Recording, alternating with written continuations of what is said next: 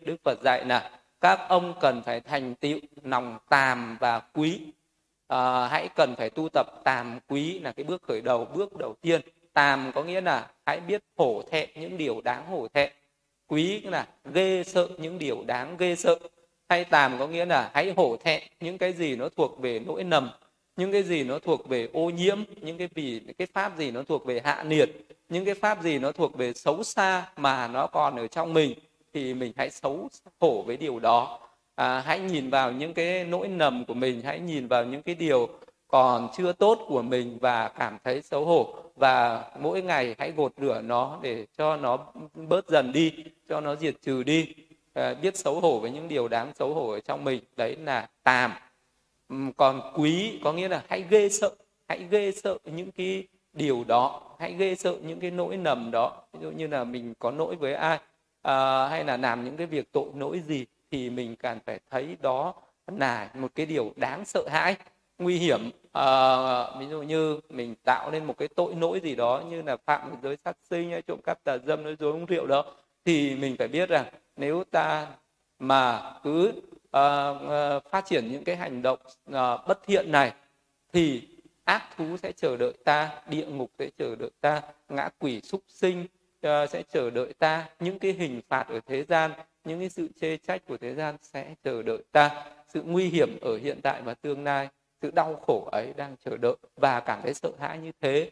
Hoặc đôi khi mình không phạm nhưng mình nhìn thấy người khác người ta làm những điều tội lỗi người ta bị uh, những cái hình phạt ở thế gian như bị bắt đi tù tội bị đánh đập uh, bị tra tấn uh, bị uh, mang ra xử chém bị uh, uh, chết chóc và cái người đấy phải đọa vào các cõi khổ đau. Và hãy suy xét như vậy nhìn nhận như vậy và sinh ra cái tâm ghê sợ. Và cần phải từ cái tâm ghê sợ đó và mình cần phải thận trọng và cần phải uh, thận trọng rằng ta hãy đừng có phạm vào những điều như thế. Nếu như ta mà làm những điều như thế ta cũng sẽ phải khổ đau như cái người đó. Đấy người đó làm tấm gương để cảnh tỉnh mình để nhắc nhở mình. Đấy là người có tàm có quý là như vậy. Thì cái người có tàm ở đây uh, là biết xấu hổ thì cũng đồng nghĩa rằng cái người đấy là cái người có cái lòng tự trọng. Uh, cái người có lòng xấu hổ là người biết tôn trọng mình. Cái người biết ghê sợ uh, tội lỗi là biết tôn trọng người khác. Uh, thì cái pháp này là một cái pháp văn hóa uh, đạo đức uh, thông thường ở thế gian người thế gian bây giờ mình sẽ thấy là có những người người ta có cái văn hóa có cái đạo đức uh, rất là cao và có những cái người có cái văn hóa đạo đức rất là thấp. Uh, và mình sẽ nhìn vào đâu tiêu chuẩn gì để mình đánh giá mình nhận xét được. Cái người nào là người có văn hóa người nào là người vô văn hóa cái người nào mà không có văn hóa không có đạo đức đi đâu sẽ bị người khác người ta chửi mắng người ta coi thường người ta khinh bỉ. Uh, người ta sẽ uh, sẽ xúc phạm mà vào danh dự ờ, vào nhân phẩm của người đó. Đây là cái đồ thất học là cái đồ thất đức là cái đồ không có văn hóa không có đạo đức không có giáo dục là cái đồ không đáng tôn trọng ờ, là cái đồ không đáng À, để cho người khác à, người ta kính mến. Và luôn luôn bị những người khác người ta khinh thường coi thường. À, đấy là cái sự thiếu văn hóa. Vậy thì cái người có văn hóa Ờ, là cái người gì? Là cái người có cái lòng tự trọng. Có cái lòng tự trọng ấy thì mình ờ, sẽ ờ, không làm những cái việc nhỏ nhen những cái việc hèn hạ những cái việc thấp kém những cái việc hạ liệt những cái việc ô nhiễm những cái việc mà khiến cho những cái người có trí người ta khinh thường. À, những cái người có trí người ta sẽ tôn trọng những cái người mà có cái nhân cách có cái đạo hạnh uh, có cái lòng uh, ờ, tự trọng tức là cái người đấy phải là một cái người sống cao thượng uh, không có những cái nỗi nầm nhỏ tức là người ấy phải thận trọng với những cái nỗi nầm không có những cái hành vi uh, uh, xấu xa không có những cái lời nói có những cái hành động có những cái ý nghĩ xấu mà vị đấy phải là luôn luôn là cái người uh, sống không vì cái lợi ích của mình mà có khi vị ấy lại sống vì lợi ích của người khác có cái lòng tốt có cái lòng bao dung có cái lòng độ lượng có cái lòng vị tha à, luôn luôn quan tâm đến lợi ích của người khác biết nghĩ đến cái lợi ích của người khác à, sẵn sàng hy sinh những cái lợi ích của mình à, để à, giúp đỡ người khác phục vụ người khác kính trọng người khác kham nhẫn nại những cái điều có kham nhẫn làm được những cái việc khó làm. À, đấy là cái người có cái lòng tự trọng như thế vì cái người đấy có cái lòng tự trọng như thế nên được mọi người tôn trọng. Cái người nào sống ích kỷ hẹp hòi chỉ no lợi ích cho bản thân mình.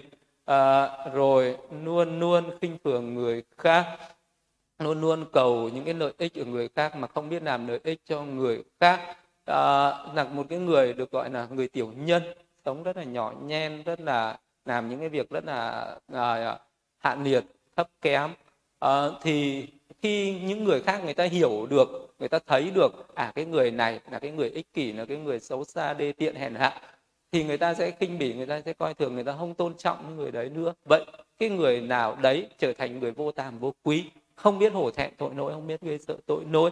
Còn cái người biết hổ thẹn tội lỗi biết ghê sợ tội lỗi thì uh, sống uh, vì uh, mọi người uh, và cái người đấy không có cái lòng ngã mạn tự cao tự đại cái lòng tham lam ích kỷ hẹp hòi cho bản thân mình nhiều. Cho nên được những cái người có trí người ta nhìn nhận à, người ta thấy người này sống có đức hạnh người này sống có cái lòng tốt người này sống có cái lòng vị tha thì người ta hoan hỉ người ta tôn trọng người ta kính trọng những người đó. Vậy cho nên là cái người có biết hổ thẹn tội lỗi tức là à, biết uh, giữ gìn cái sự cao quý sự cao thượng uh, cái đạo đức của chính mình uh, mà cái vị đấy còn biết làm những cái việc tốt đẹp lợi lạc cho người khác.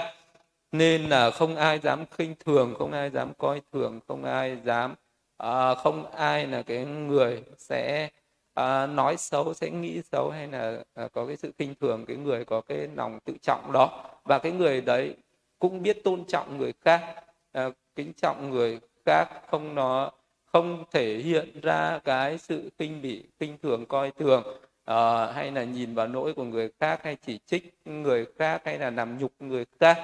Uh, mà cái vị đấy luôn luôn uh, biết uh, tán thán những cái điều tốt của mọi người biết khích lệ khuyến khích cho những người ấy phát triển những cái điều tốt lên thì đấy là cái người biết tôn trọng người khác. Vậy cái người có cái văn hóa ở trên đời uh, đáng để cho mọi người tôn trọng uh, là thế là cái người có hai cái pháp này có tàm và có quý.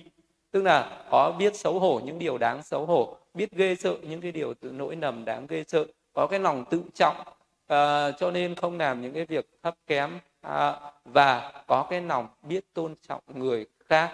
Vậy thì cái người đấy là cái người có cái văn hóa.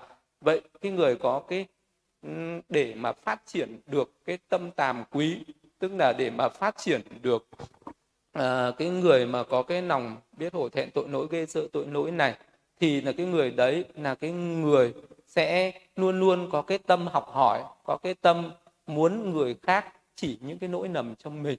Ở nó khác ở cái người đời là có những cái người luôn luôn à, thể hiện ra là mình là một cái người à, không có nỗi nầm gì và ai đó mà chỉ nỗi nầm cho mình thì tự ái và oán thù cái người người ta chỉ nỗi cho mình thì cái người đấy là người vô tàm vô quý cái người đấy là hay che giấu tội lỗi còn cái người mà có tội lỗi thì người ta biết nhận lỗi à, biết nhìn vào cái lỗi của mình và người ta biết sám hối những cái nỗi nầm đó. Đấy là cái người ờ, biết có tàm có lòng tàm là biết hổ thẹn như vậy. Người ta luôn luôn nhận ra à mình có nỗi nầm và người ta không che giấu nỗi nầm ấy. Người ta có thể tìm một cái người nào đó để người ta phát lộ sám hối.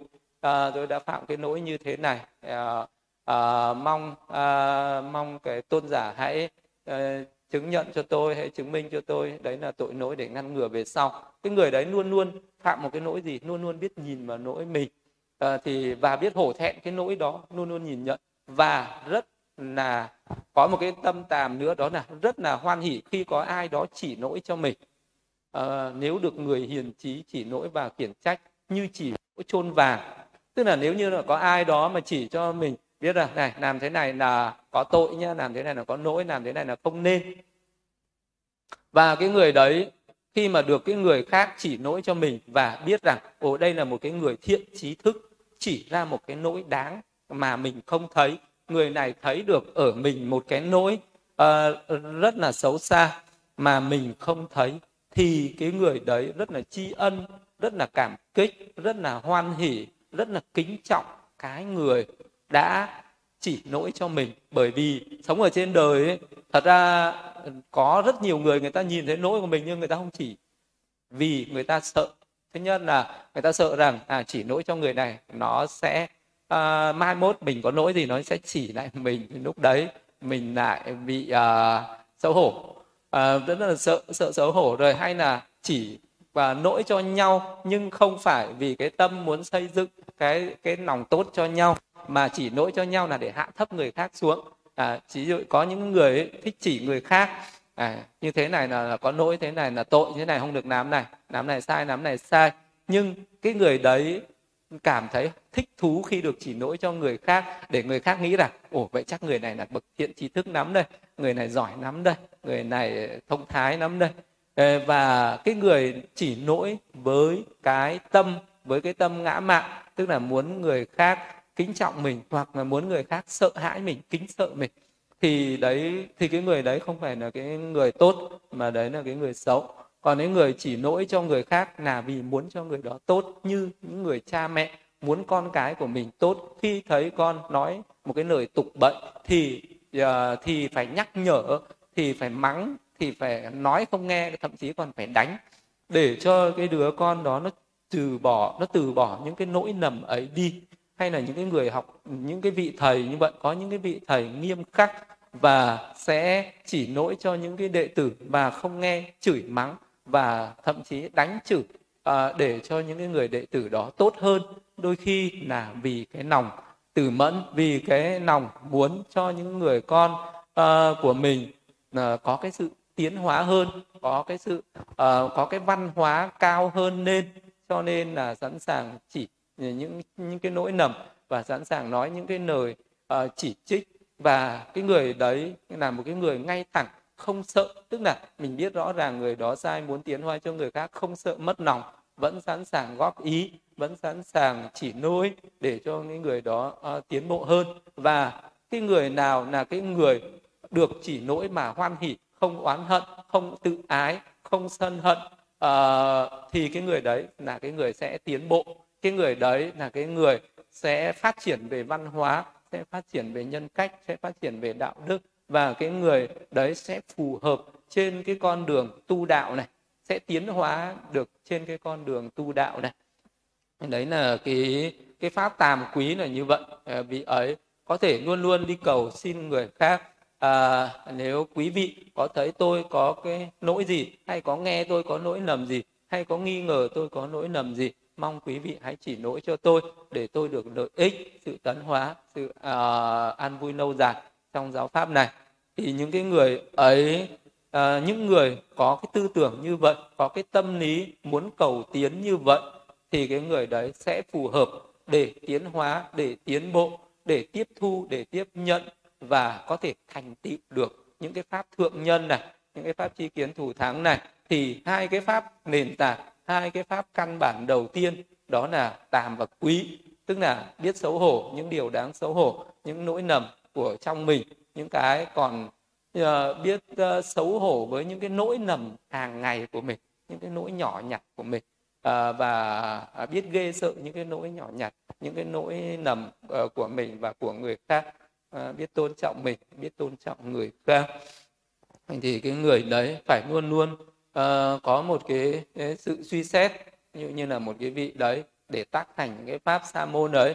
Vì ấy muốn phát triển được cái tâm hổ thẹn ấy vị ấy luôn luôn phải quan sát như vậy phải quan sát là ta à, là một vị sa môn thì không còn giai cấp gì nữa. À, ta cần phải cái đời sống của ta là là cái đời sống phất thực ăn xin sống lệ thuộc vào người khác. Suy xét như thế vì ấy suy xét rằng cái oai nghi cử chỉ hành vi lời nói cần phải thay đổi hàng ngày để không biết rằng là bản thân ta có chạo hối có chỉ trích những cái nỗi lầm của ta không biết những cái bậc có trí khác nhìn nhận ta các vị ấy có thấy những cái nỗi lầm của ta không có uh, chỉ trích những cái giới hạnh những nỗi lầm của ta không à, vị ấy phải quan sát là những cái sự vật khả ái trên đời sẽ tiêu hoại cho nên là không nên đắm nhiễm vào một cái gì. Vị ấy còn phải quan sát rằng ta là chủ nhân của nghiệp là thừa tự của nghiệp ờ, là bà con của nghiệp. Những cái nghiệp thiện ác gì ta đã làm ta sẽ thừa tự những nghiệp ấy. Vì ấy quan sát như vậy thì cái lòng quý của mình nó luôn luôn được duy trì. Bởi vì ấy sẽ quan uh, sát rằng mỗi một ngày trôi qua không biết ta có cái tiến hóa hơn hay không. Ờ, mỗi một ngày trôi qua mạng sống sẽ giảm dần bản thân người có được Phật pháp có nghe. À, vậy không biết ta có cái tiến bộ gì trong cái giáo pháp pháp học pháp hành này không? Vì ấy luôn luôn phải nhìn nhận như vậy thấy cái thời gian nó ngắn ngủi mạng sống thì vô thường. À, vì ấy à, thấy rằng à, là ta có hoan hỷ à, sống cái đời tiểu dục chi túc không? Và ta có thành tựu được pháp thượng nhân chi kiến thù thắng à, để đến lúc à, hấp hối thì những người khác có đến hỏi à, là, là ngài có chứng được cái đạo quả gì không? Thì lúc đấy ta sẽ không hổ thẹn. Cả lẽ lúc đấy và tôi tu à, suốt cả cuộc đời chẳng thành tựu được cái gì hay sao? Thì lúc đấy cảm thấy nó sẽ hổ thẹn suy xét như vậy suy nghĩ như vậy làm cái động lực để cho vị đấy luôn luôn thấy hổ thẹn rằng mình mới đạt đến cái mức độ này còn những cái bước kia mình chưa đạt được. Vậy là cái người có cái lòng hổ thẹn là cái người cũng luôn luôn biết suy xét, biết nhìn nhận lại. Và những cái những cái xấu nó còn ở trong mình, những cái pháp bất thiện, những cái pháp ô nhiễm nó còn ở trong mình đó. Và cái vị ờ, đó biết suy xét như vậy hoặc được người khác chỉ cho, được người khác dạy bảo cái gì thì ờ, sẽ hoan hỉ chấp nhận à, những cái những cái lời chỉ dạy đó những cái lời đôi khi có những uh, cái lời chỉ dạy uh, đó là những lời uh, dịu dàng nhẹ nhàng uh, thân ái dễ nghe bùi tai. Nhưng đôi khi những cái lời chỉ dạy đó sẽ là những cái uh, lời chỉ trích những cái lời mắng mắng nhiếc. Đôi khi đó là những cái lời nói nặng nề thô lỗ thì cũng phải hoan hỉ chấp nhận à, và à, có cái lòng tri ân đối với những người đã chỉ lỗi cho mình thì cái người đấy sẽ phát triển được cái tâm tàm quý. Luôn luôn biết rằng vì mình có lỗi người khác người ta mới chỉ trích. Vì mình còn có nhiều những cái hành động những cái tập khí xấu cho nên người ta mới chê bai. Vì vậy cho nên uh, vì người ta chỉ cho mình à, người ta chê bai mình người ta nói những cái lỗi cho mình thì mình mới nhìn ra mới nhận ra mới thay đổi mới từ bỏ và mới thận trọng mới tu tập uh, tốt hơn được. Còn nếu như người ta cứ tán thán mình khen ngợi mình che giấu những cái lỗi của mình uh, rồi người ta thổi phồng những cái ờ, điểm tốt mà mình không có nên thì đó mới là nguy hiểm. Thì đó là ác tri thức không phải thiện tri thức. Nếu như mình thân cận những người nào uh, mà người ta uh, lại chỉ tán thán những cái điều uh, không có thật Ờ, người ta che giấu những cái điều ờ, nỗi nầm của mình thì đó là mình không được thân cận bậc thiện tri thức. Và thiện tri thức sẽ chỉ nỗi cho mình để cho mình tiến hóa để cho mình giống như là một cái người thầy thuốc giỏi ừ, bắt được những cái xem được những cái bệnh của bệnh nhân thấy được cả những cái bệnh tiềm tàng à, nó còn tiềm ẩn rất là sâu xa nhưng tương lai nó sẽ phát lên thành những căn bệnh uh, nguy hiểm à, niên nó sẽ nguy hiểm đến tính mạng cho nên những người thầy thuốc đó chỉ cho mình à, có những cái căn bệnh ấy để cho mình à, cắt bỏ nó đi để cho mình dứt bỏ nó đi. Thuốc đắng đã tật sự thật mất lòng. Đôi khi à, à, có người chỉ trích cho những nỗi lầm của mình để cho mình à, lại có cái sự lợi nạp tiến hóa lợi ích hơn. Vậy cái người có tâm tàm quý là như vậy sẽ học những cái điều đáng học à, sẽ từ bỏ những cái nỗi lầm đáng từ bỏ. Và cái người đấy là cái người dễ dạy bảo dễ giáo hóa à, dễ tiếp thu những cái lời dạy của các bậc à, thiện tri thức. Thì cái người đấy e, sẽ là cái người uh, thành tựu được một cái pháp đầu tiên trong cái giáo pháp này. Vậy thì ở uh, cái trong cái giáo pháp này thành tựu được cái pháp đầu tiên đó là mình chấp nhận học hỏi và sửa đổi mình thay đổi mình à, từ những cái tính à, xấu trở thành cái tính tốt từ từ bỏ đi những cái tính xấu và từ từ à, thành tựu học tập rèn luyện cho mình có những cái đức tính tốt. Đấy là cái bước đầu tiên cái bước căn bản đầu tiên nhất của cái người học đạo ở trong cái giáo pháp này. Cho nên đức phật nói rằng hãy tu tập tàm quý thành tựu được hai cái pháp tàm quý này.